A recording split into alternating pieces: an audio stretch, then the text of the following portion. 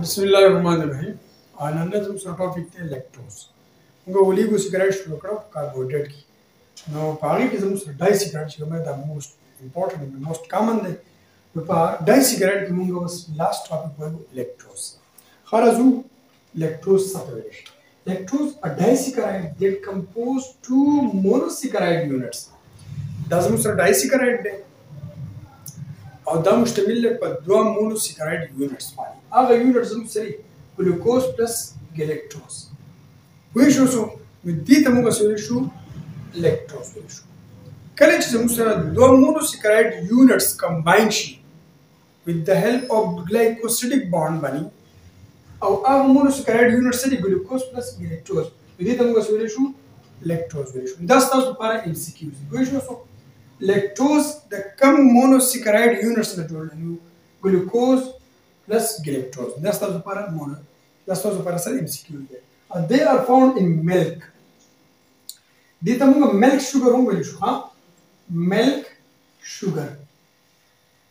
مطلب دا چې دا په ملک کې دا موږ په ملک کې موندلی شو نو ځکه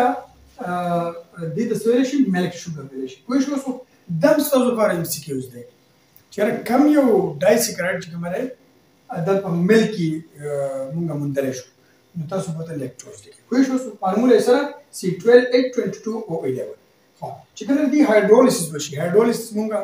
بار بار ویل دي هایدرولیسس کله چې کله یو لارج مالیکول د واټر په موجوده کې مونږ دا بریک ډاون کوو اته مونږ هایدرولیسس وشي دا ییر کوي پرووایډ کوي ټو مونوسیکراید یونټس ګلوکوز پلس ګلیکټوز کله چې د دې ګلیکټوز هایدرولیسس وشي نو دا زموږ سره په دوه مونوسیکراید یونټس کې دا غي هغه ته کنورټ کیږي هغه ته چینج کیږي نو هغه ته موږ سره ګلیکټوز پلس ګلوکوز اوس راځو مونږه ګورو چې لیکټوز د کم مونوسکراید نه جوړ دی مونږ ته پته ده چې د ګلیکټوز او د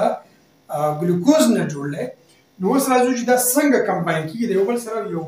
لیکټوز مالیکول ورکوي پوه شو سو یا لیکټوز کاربوهایډریټ په دې نو اوس دا ما تاسو ته پرونی ویډیو کې هغه بیسکس ویلي پوه شو که نه دلته شان دی دا هم دی پوه شو خو دا لږ چینج دی ځکه چې په دې کې دا چې کومه ده ګلیکټوز کې او ایچ ګروپ بره دی او په ګلوکوز کې او ایچ ګروپ لاندې دی نو دا اصل کې دا بانډ فارمیشن لږ معمولی چینج دی وایي شو سو نو راځو اوس دې ته ګوره د دې دا بانډ چې کله کمباین کېږي نو د دې نه واټر مالیکیول وځي د دې نه څه کېږي واټر مالیکیول ته وځي چې کله واټر مالیکیول ته وځي نو دې پروسس ته موږ سوی شو دې پروسس ته موږ سوی شو تاسو نو بار بار ویلي یار کانډینسیشن وی شو سو دې ته موږ کانډینسیشن وایو شو وګوره واټر مالیکول ته ریموو شو ا بیس ما پرون تاسو ته په آی تھنک سوچ په سکروز کې ما تاسو ته بیس ویلي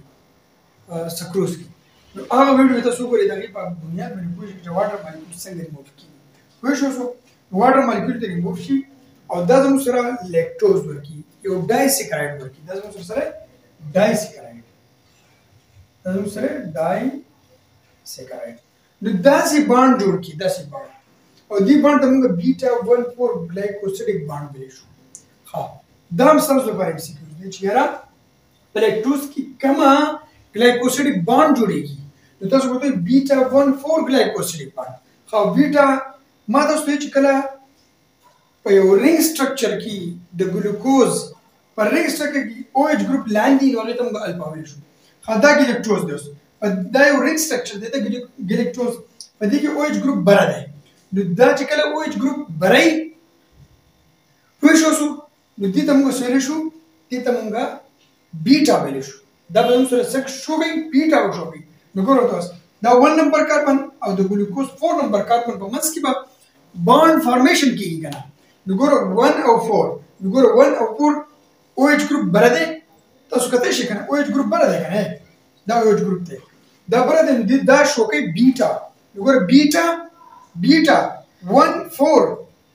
ګلایکوسیډیک بانډ پوه شو شو نو دا زموږ سره څه شو یو بانډ جوړ شو چې هغه بانډ ته موږ ګلایکوسیډیک بانډ ویل شو او دا زموږ سره لیکټوز دی سره لیکټوز خو کله دې لیکټوز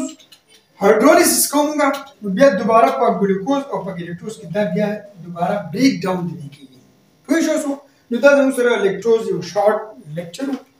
مطلب دا دی تاسو کله پوه شئ نو زما سره خپل کوېسچن چې کوم دی په کمنټس کې شیر کولای شئ ډېر اسان دی انتهایی اسان دی هیڅ مشکل به نشته ان شاء الله امید دی چې تاسو به زده کړی راغلی ان شاء الله امید دی او که څه پکې بیا زما سره کوېسچن به په کمنټس کې شیر کولای شئ نو ان شاء الله امید دی چې دا غي جواب تاسو ته اسانه باندې ان شاء الله ملایږي